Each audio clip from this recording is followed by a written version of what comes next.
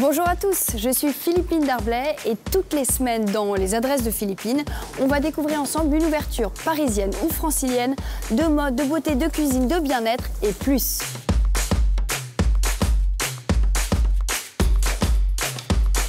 Bon, aujourd'hui, je suis à Saint-Germain-des-Prés, à Paris, devant une bâtisse du XVIIe siècle qui abrite depuis quelques mois l'un des cocktails-bars les plus innovants de Paris, Cravant. Franck Odou, qui a pensé ce lieu, est passionné par l'histoire et la culture du cocktail, mais pas que. C'est aussi un fou d'art, de design et de gastronomie. On va le rencontrer.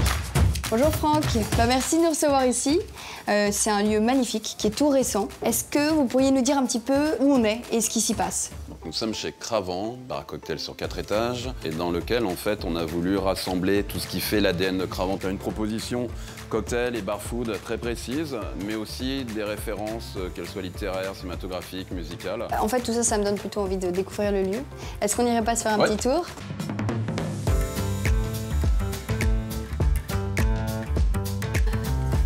Oh, waouh Second bar, cette fois-ci d'inspiration plutôt années 70-80. On est plus dans une ambiance un peu drugstore, vraiment beaucoup plus électrique. La manière dont on l'a pensé, c'est qu'on puisse effectivement aussi bien boire un verre dans le décor, dans l'arrière-décor, et donc d'avoir multiplié les, points de vue. Et du coup, les autres étages ressemblent à ça ou? Alors, rez-de-chaussée, premier bar, cet étage-là, le second bar, et au-dessus, nous avons une librairie. qui est un peu un étage tampon.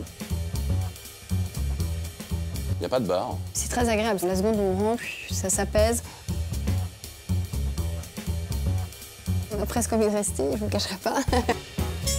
Troisième bar, vraiment très intime, presque une sorte de, petit salon. Les touches surréalistes, on les a amenées là une fois de plus en, multipliant les, les cheminées. Pourquoi en fait vous avez décidé de créer ce lieu à Paris plus qu'ailleurs finalement? Pourquoi ici C'est un héritage culturel d'avant-garde, cinématographique, littéraire et autres. Pour moi, souvent, je considère qu'on a des images de Saint-Germain plutôt en noir et blanc, donc plutôt du passé. pour moi, c'est important d'amener effectivement un peu de couleur. Franck, j'ai une dernière question. Est-ce que tu m'autoriserais à apprendre peut-être avec tes équipes à simplement shaker un cocktail, juste pour comprendre le geste Oui, bien sûr, on va faire ça. On va demander à Arthur qu'un de nos chefs marman de, montrer les quelques, quelques petits tips. Un petit peu de matériel et puis un petit moment, mais rien de, rien de compliqué. Sinon, ça se saurait, c'était compliqué. J'ai bien fait de demander.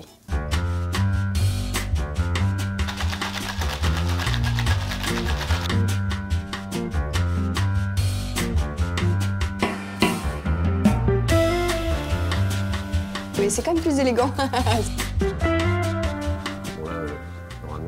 Bah... Il a entendu un petit peu, donc... Euh, voilà, c'est juste pour ça, hein. vraiment, parce que les gestes étaient fantastiques. Hein. Exactement.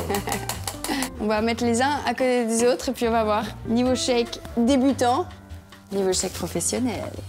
Bon, on a eu la chance aujourd'hui de découvrir un lieu vraiment atypique, sur plusieurs étages, avec des ambiances très différentes. On a envie de s'y perdre. Il y a des coins, des recoins, des pièces cachées.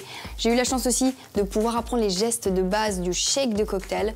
Maintenant, je vous mets au défi. C'est à vous de vous y mettre. J'ai hâte de voir ce que ça va donner. À bientôt.